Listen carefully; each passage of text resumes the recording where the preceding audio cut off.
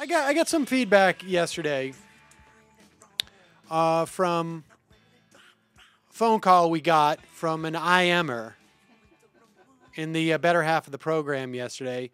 This is a guy who is a libertarian and apparently, as far as I can tell, a um, what's that? Uh, Alex Jones fan.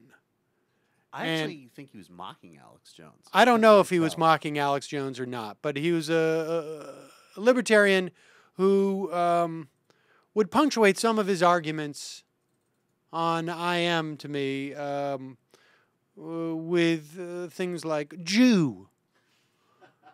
Now, it makes sense in the context of, um, you know, do we have a problem, mental, a problem with fundamentalist Jews and fundamentalist Muslims and fundamentalist Christians?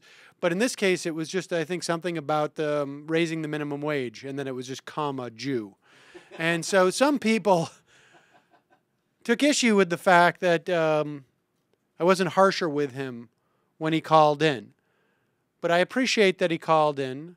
And I want to reiterate that if you're a libertarian and you have an argument to make about particularly uh, libertarian economics, which I think is akin to uh, like ch- childish fantasy, and really, in some respects, um, underdeveloped childish fantasies.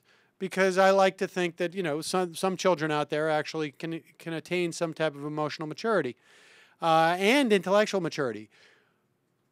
I have debated libertarians who were not total morons.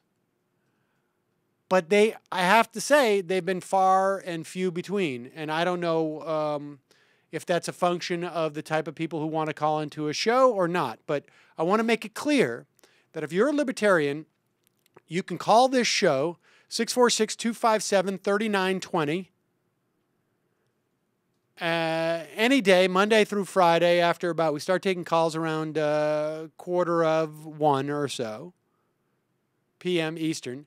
And in particular, uh, if you want to even have a bigger platform, I'm going to be filling in for Thom Hartmann on Monday, 3 to 6 p.m. East Coast time.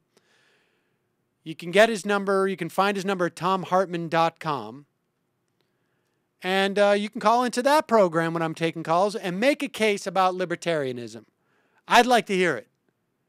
Because I, and, and I'm talking about economic libertarianism. There's some areas where I agree with some libertarian uh, principles, but I don't even think they necessarily have to be libertarian principles by the very fact that I'm not a libertarian and I agree with them.